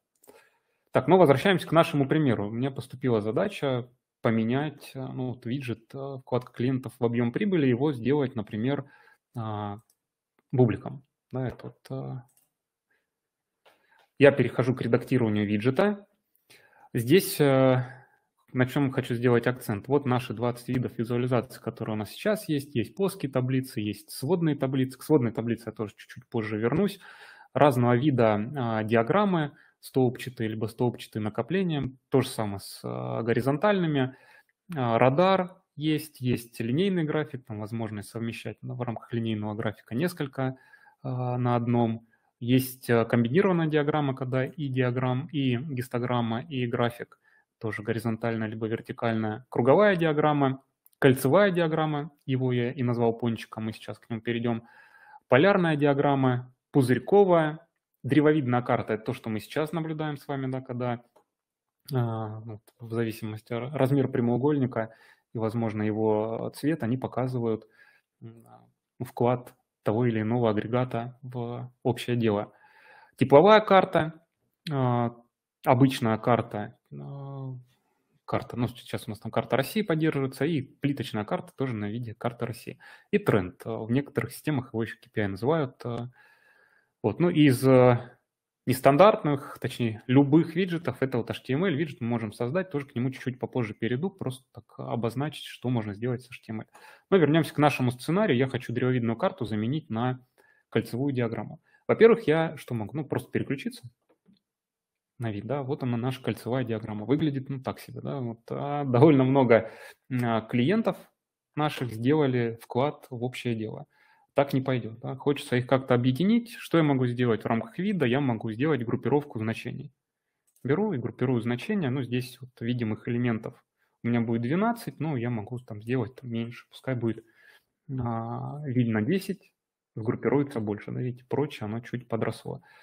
Сортировка сейчас по вкладу, а, по, по прибыли, да, вот по агрегату прибыли идет сортировка от большего к меньшему. Продолжаем видит, да, что Джинс Мак потом идет, а, господи, как это прочитать, фифошка и так далее, да, они вот делали вклад меньше-меньше, ну и к прочему. Впрочем, мы видим, что происходит. А, например, я хочу поменять группировки. Ну, не хочется мне, чтобы у нас группы были... Вот он наш дрилдаун, да, куда мы проваливаемся от клиентов к категориям товаров и к конкретным товарам. Я хочу, наоборот, от категории, например, проваливаться в клиентов, посмотрим, что произойдет. Да? Вот поменялись. Да? Видно женская одежда, ну и так далее. У нас категории а, меньше 10, ну либо 10, поэтому здесь прочее не появляется. Ну, вернем обратно. Пускай все-таки будут клиенты, потом категория. Не хватает на этом бублике итого, например. Хочется вывести итого. В рамках настройки вида я делаю, включаю итого. Вот мой итого, 21 миллион с копейками есть. Здесь я могу поиграться настройками. Видите, слово «итого», оно как бы тоже настроено в виде текста. Я могу выводить в центр бублика разную информацию. А, ну, в данном случае я вывел текст «итого», могу подписать там «итого» там, рублей, да, символ рубля вставить, чуть дольше будет. Ну, там сейчас перестрою того рублей и могу вот увидеть итоговый значение у него тоже поиграться с его настройками. Размер шрифта, сам шрифт, э, начертание его жирное там курсивом, и можно выбрать ему цвет. Вроде бы вот с итоговой частью настроили. Давайте посмотрим по подписям. Тоже можно а, с ними поиграться. У нас сейчас есть а, подписи, которые обозначают а, клиентов. Ну, например, я хочу увидеть здесь еще и значения. Значение можно выбрать в два в разных вариациях. Ну, по умолчанию процентная, процентный вклад э, секторов можно добавить сразу отображать и значение. Он у нас в скобочках добавит значение. Можно значение не отображать дополнительно, а просто отображать значение вместо процентов. Тут как хочется. И можно поиграть с расположением, с расстоянием этого добра. Например, у нас сейчас выбрано, что снаружи я могу сделать расстояние побольше, он чуть дальше отодвинется от нашего бублика, с этим можно тоже играться. Если у нас разные показатели в виде агрегатов есть, то мы можем ну, выбирать. В данном конкретном сценарии есть только прибыль, но если бы тут было несколько, то можно было не прибыль, например, суммировать, а количество этих а, клиентов. А, с чем еще можно поиграться из интересного? Это вот последнее обновление с пропорциями. Можно а, позадавать размер диаграммы, которую мы хотим видеть, ну, пускай он будет покрупнее, можно поиграть с толщиной а, самих а, секторов, также расстояние между секторами добавить, это будет вот так тоже довольно интересно. Ну и скругление, да, если мы увеличим, то у нас радиус скругления областей увеличивается. Ну и тут довольно много настроек, и так у нас по каждому виджету, который э, стандартный. Здесь Понятно, что настройки не зависят от вида э, виджета, который мы выбрали. Ну, в данном случае я просто показал, как мы игра... можем играться визуально с а, настройками конкретного виджета. Так, толщина мне не нравится, побольше сделаем. Конкретного виджета, который называется кольцевая диаграмма. Если мы будем выбирать другие, там, собственно, свои настройки, но можно поиграться. Очень удобная штука, что можно здесь же, у нас вид виджета, э, кольцевая диаграмма, но я могу переключиться всегда в табличное представление, потому что так бывает удобнее понять, э, что, ну, что тут с данными да, конкретно. То есть таблица, она все-таки не отменяется. При этом я вид не поменял, я просто переключился в вид таблицы, и вот тут мой дрилдаун я вижу. Я могу и здесь поменять местами все это, и таблица перестроится. Ну и э, понятное дело, что и моя визуализация, она тоже перестроилась. Все, я его поменял, мне ничего сохранять не надо, сохранение идет автоматически. А, мы сейчас, кстати, работаем не всегда удобно, когда автоматическое сохранение. Бывают случаи, когда нужно все-таки а, явно кнопку нажать. У нас будет два режима работы, либо в автоматическом сохранении, либо а, принудительное сохранение. Ну, в данном случае у нас сохранение было автоматически. Если я вернусь сейчас к моему, к моей информационной панели, переключусь на вкладку, где у меня был э, виджет с э, древовидной картой, то видно, что э, он заменился на этот. Здесь же можно что сделать с информационной панелью. Во-первых, я могу поделиться ссылкой для коллег на просмотр этой информационной панели. Если я сейчас открою в новой вкладке, введу эту ссылку, да, то откроется информационная панель, которую я, собственно, которой я поделюсь. Я могу ее выгрузить в разных форматах, в PDF, PNG, могу перейти к редактированию, если у меня есть права, ну и так далее. Да, вот, а, здесь же могу продолжить с ней а, просто изучать да, показатели, там, проваливаться, смотреть.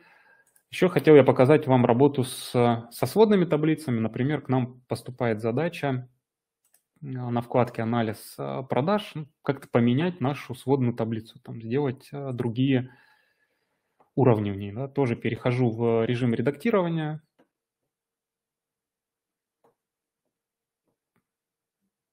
Иду к нашей сводной таблице, которая называется «Анализ показателей по поставщикам». Перехожу к редактированию таблицы. Что здесь может понадобиться? Ну, например, у нас сейчас э, углубление идет страны-поставщики. Я, например, хочу немножко иначе смотреть, да, вот не страны-поставщики, а категории товаров, а потом какие страны, какие внутри поставщики. Выбираю категории товаров, добавляю их. У нас есть возможность их добавить как э, в виде строк, так и в виде группы столбцов, ну, либо сделать э, агрегатом, да, агрегат, я сейчас к нему тоже вернусь, э, что это такое. Я добавляю строкой категории товаров. Теперь у меня, что происходит, ну, сейчас таблица перестроится, если я открываю страну определенную, я вижу, какие поставщики работают со мной из этой страны, вижу категории товаров. Но гораздо интереснее, например, мне смотреть вот так.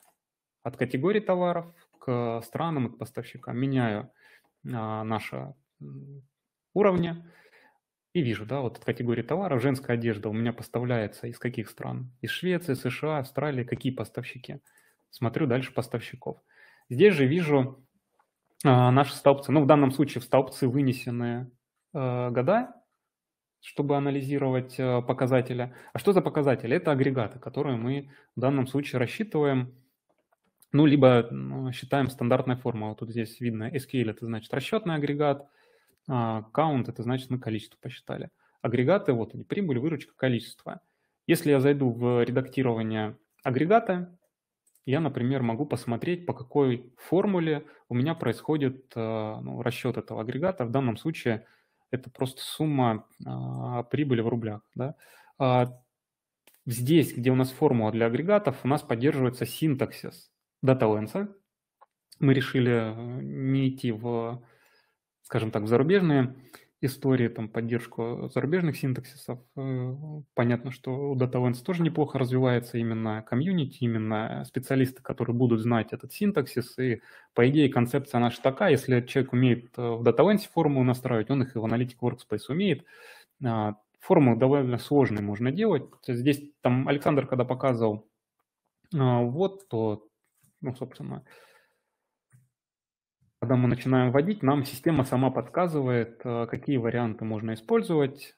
Если мы, например, у нас какие-то показатели на кириллице, я не знаю, есть ли тут, ну вот есть, да, на кириллице, я могу и на кириллице вводить э, количество знаков, да, и он у меня сам их переведет в нужный формат. Менять не буду сейчас форму, потому что она будет бессмысленная. Здесь же я могу в рамках агрегатов э, поработать с сортировкой, поработать с форматированием. Разные виды условного форматирования поддерживаются у нас. А, ну, просто цветами заливать, цветами в зависимости от а, объема, значки подставлять, ну, это актуально для трендов, да, когда у нас а, ну, или KPI-панели, когда у нас показатель от года к году растет, то там зеленая стрелочка вверх, например, либо красная стрелочка вниз.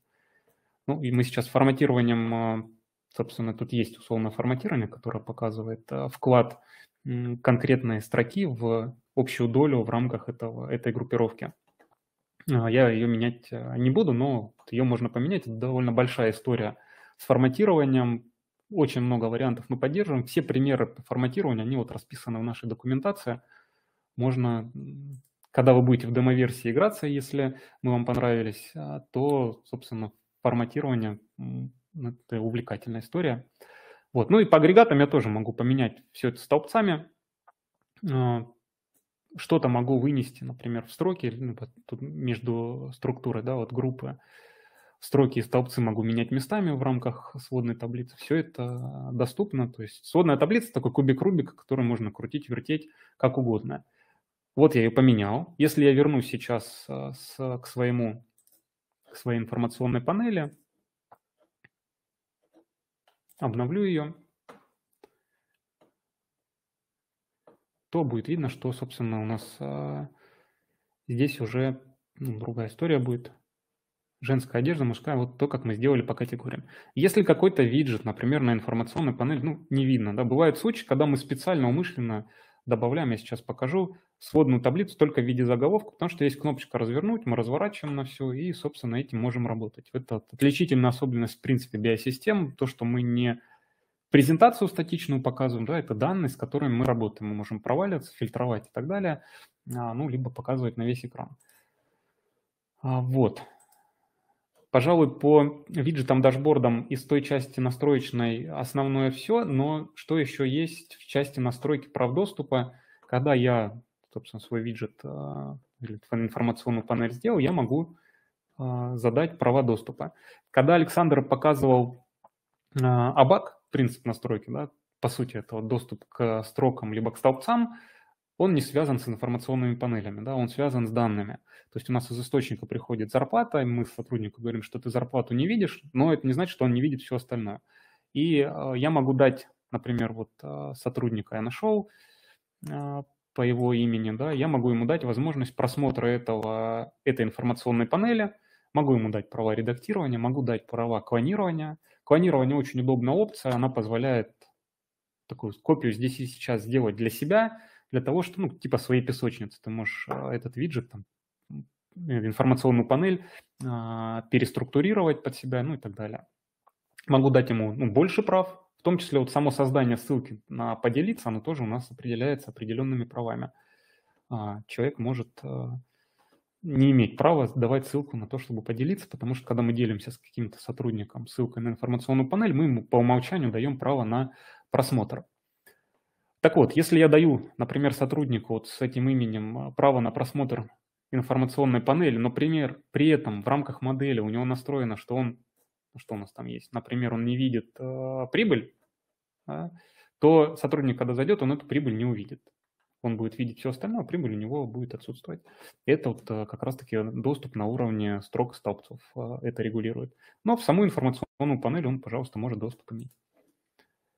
Коллеги, по информационным панелям а, мы так за тайминг немножко вышли. А, я дальше углубляться не буду.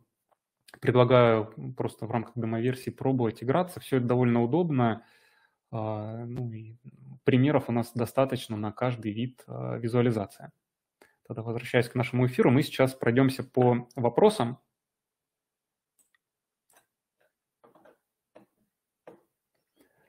Так, давайте я сейчас все-таки показываю экран, да? Завершить показ экрана.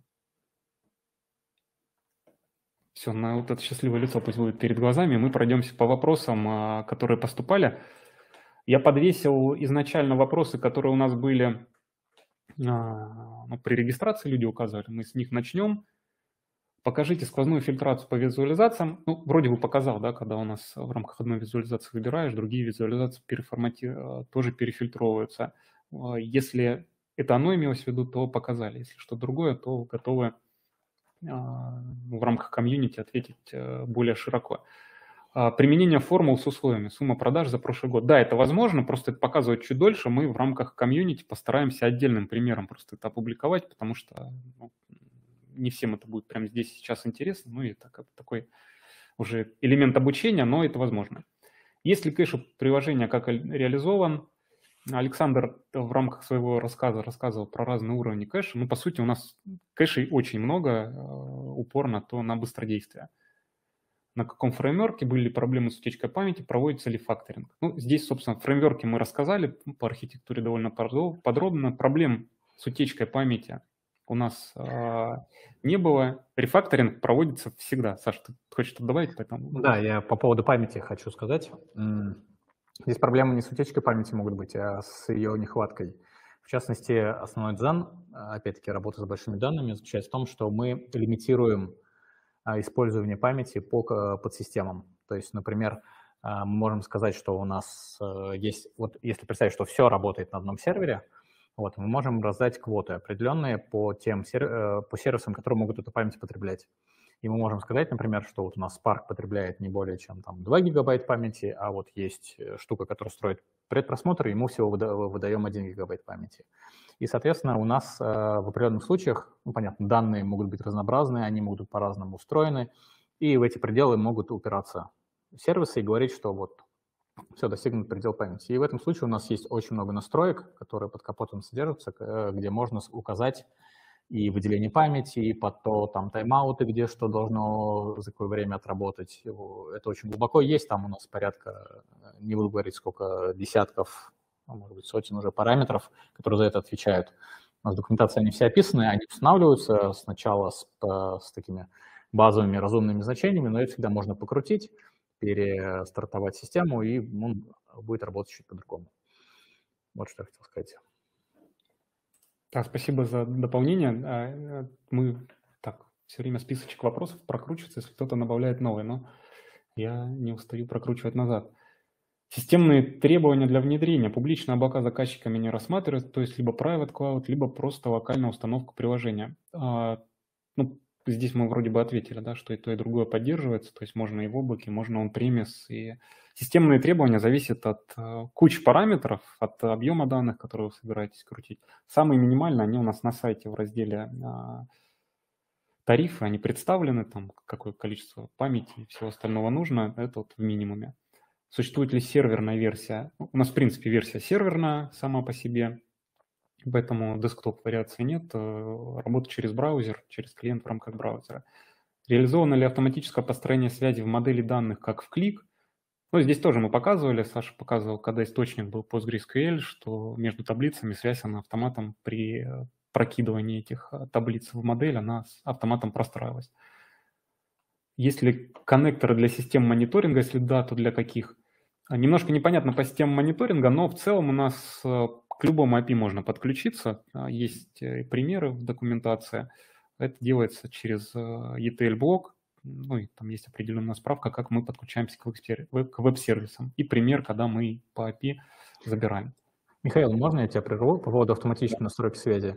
Да, есть не только вот на уровне создания моделей, мы там связи между таблицей и тасками. Э, к этой же теме можно отнести и автоматическая настройка связи в диаграммах, когда они построены на одних и тех же данных. То есть я размещаю несколько видов э, на, на дашборде, несколько видов диаграмм, и при дрилдауне, при установке фильтров на одном из этих у меня автоматически прокидывается. То есть это тоже вот на уровне связи, но уже информационных панелей это что-то типа такого, что у клика есть. Ну, то есть вот эти связи цепляются автоматически. Хотя не в том явном виде на уровне архитектуры данных, как вот в других системах. Угу. Да, Саша, спасибо. Какой из вариантов SQL у вас используется? Саша, вот тут я сразу тебе передаю слово. Да, SQL на самом деле он один, с небольшими э, как бы различиями. Можно вспоминать, что SQL как буква L language, он один. То есть select везде пишется примерно одинаково. Другое дело в функциях, которые внутри этого селекта можно использовать. Вот как раз вот эти функции, они зависят от того, э, с чем мы сейчас работаем. SQL, когда мы создаем модель, и там пишем SQL-блоки, мы, соответственно, должны использовать тот SQL, который э, зависит от источника данных. То есть если я работаю с PostgreSQL, то я использую диалекты функции, которые э, приняты в PostgreSQL. Если я к Oracle, соответственно, я к Oracle делаю. Если я работаю с данными сейчас, то у нас используется Spark SQL диалект, ну, то есть это неправильно говорить диалектом. У нас набор функций, которые я внутри могу использовать там, для генерации э, записей, для кастования каких-то хитрых. Я использую спарковские функции. И следующий SQL, который у нас есть в визуализациях, то есть формулы, которые мы пишем, на самом деле они тоже транслируются в SQL выражения э, уже для ClickHouse а, которые срабатывают, и там, соответственно, свои функции. Вот, поэтому можно говорить о наборе функций, которые где я могу использовать. А SQL, он как бы единый, по большому счету, сложно говорить о том, что он совсем различается. Но в целом надо понимать, что есть SQL, который зависит от источника. Потом, когда я настраиваю модель, как разработчик модели работаю, я, скорее всего, работаю с SQL э, спарковским, Spark SQL. И э, те, кто настраивает визуализации, формулы пишут с использованием функций, которые приняты в ClickHouse. Вот так. Три, ну, три. по сути, принятый в ClickHouse, по сути, синтаксис DataLens, который... Ну, да-да-да, это так, можно ли дать права на пользователя, не по, не по пользователям на данные, а сразу по группе в Active Directory? Ответ да, если чуть пошире, то у нас есть э, интеграция с Active Directory, там настраивается маппинг э, схемы, то есть по пользователю из Active Directory нам приходит, к какой группе он относится, ну и там сразу можно к этой группе потом права вешать. Тоже все подробно расписано в справке, ну, можно попытаться это сделать. Где посмотреть требования к серверной части, как считать сайзинг под свои объемы данных? А, требования к серверной части, ну, я уже сказал, минимальные есть в, на сайте, есть в документации. Сайзинг под свои объемы данных – это история ну, такая сложная, ее надо прям при внедрении уже начинать просчитывать. Мы можем помочь, если вы там а, в комьюнити зададите конкретный вопрос, мы подскажем. Потому что там от чего может зависеть? От а, количество записей внутри источника, от количества столбцов в этих записях, от количества пользователей в единицу времени, которые эти записями будет пользоваться, от того, какую сложную модель вы хотите построить, чтобы эти данные забирать. Да? То есть тут такая матричная зависимость. Но в целом мы, если сравнивать там, с другими системами, не так уж требовательны к ресурсам, но сайзинг обычно занимает какое-то время. Да? Расчет, напишите конкретные параметры, мы вам просто подскажем, что может быть.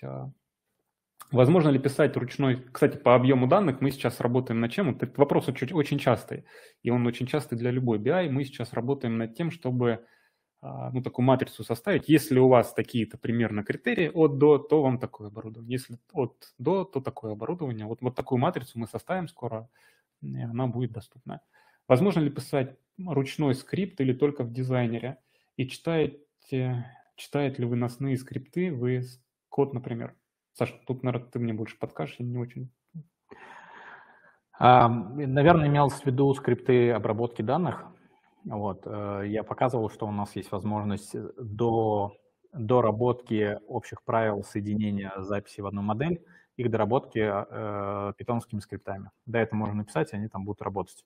Плюс у нас есть скрипты, которые можно написать, то есть с точки кастомизации именно программистские, это HTML-виджеты, там можно JS-скрипты писать, Плюс у нас скоро появится возможность э, на уровне оркестратора, то есть я хочу собрать модель, но совершенно по-своему, которая не вот вообще не на принципах АВ, работы с источниками и так далее устроена.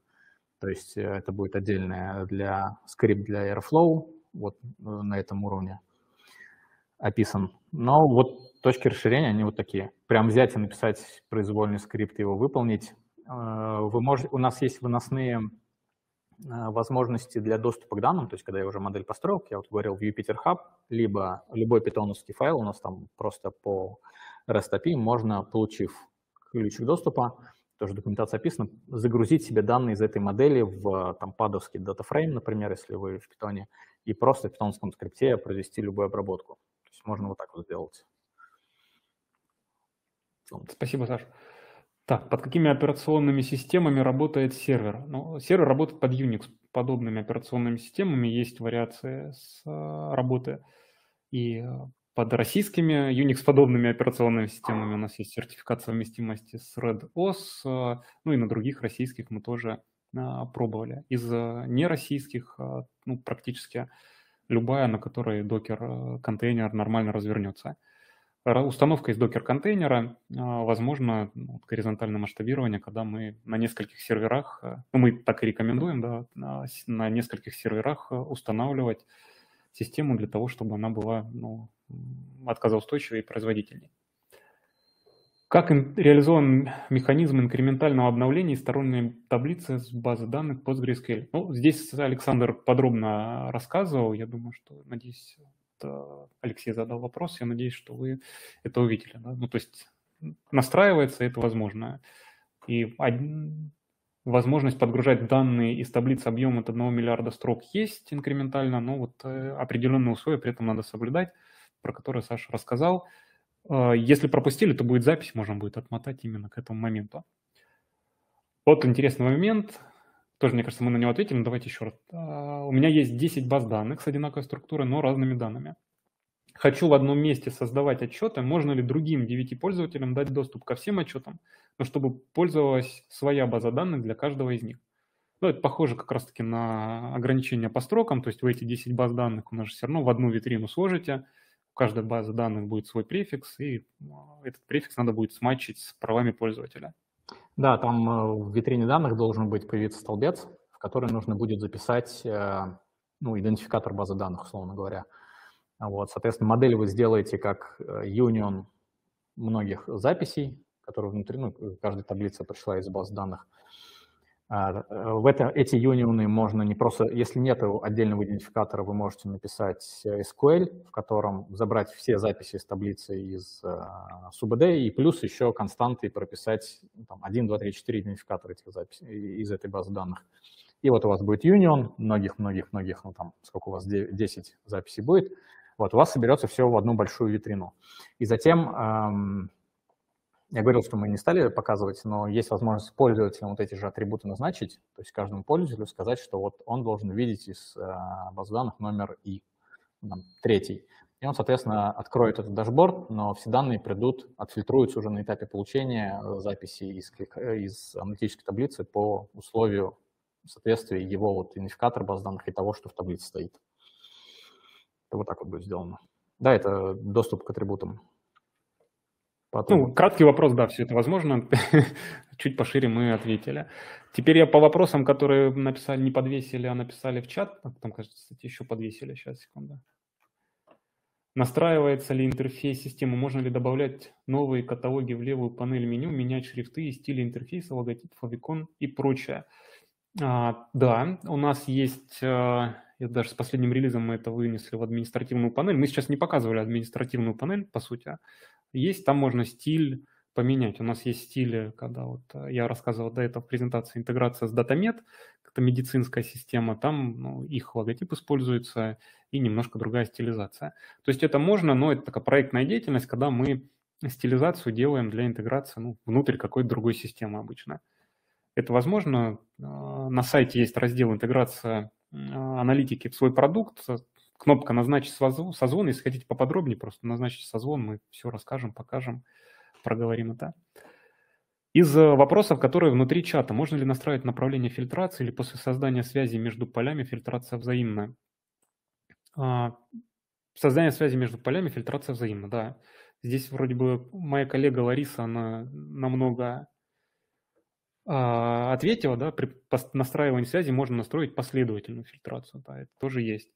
Комбинировать виджеты как-то можно, ну, у нас а, можно, есть уже готовые комбинированные вариации виджетов, ну, то есть скомбинировать там пузырьки с чем-то другим, если мы там, в рамках стандартного виджета нет, то это можно в рамках HTML виджета. А, в рамках готовых виджетов есть а, вариации уже комбинированных виджетов. Так, возможность вставить виджет в тип. Ну, это, кстати, частый вопрос для тех, кто использует Power BI, а когда ты наводишь куда-то, и он у тебя детализацию в рамках того типа.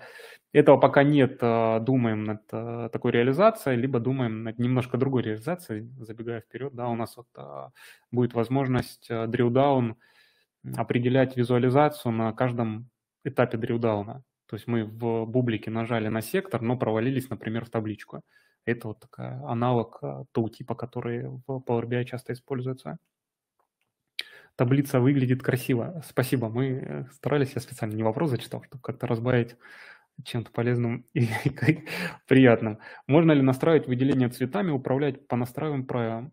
Можно. У нас по выделению цветами и не только цветами, а и э, а, значками довольно много вариаций. А, я предлагаю просто чуть-чуть, может быть, конкретизировать вопрос в рамках нашего комьюнити. Там а, коллеги могут прям визуально записать ответ и покажут а, потому что сейчас мы, ну, не, не разбирая конкретный вопрос, я могу просто сказать, что можно. Да, у нас по фильтра, по а, вот этому условному форматированию ну, довольно большая проработка делалась, и настраивать можно очень много, от градиентных вещей до там, полупрозрачных и всего остального. Возможен ли а, переход на другой дашборд? А, это тоже интересный вопрос. А, тоже, скорее всего, от Power BI, там вот Drill True называется, когда мы в сторону, дрилим в сторону а, на текущий момент а, это возможно там через ссылки настроить, а, когда мы передаем, но там контекст не будет передаваться, то есть мы не совсем детализация, но работа ведется над этим, то есть мы планируем добавить вот именно вот этот аналог детализации в Power BI, когда мы drill true в сторону выполняем.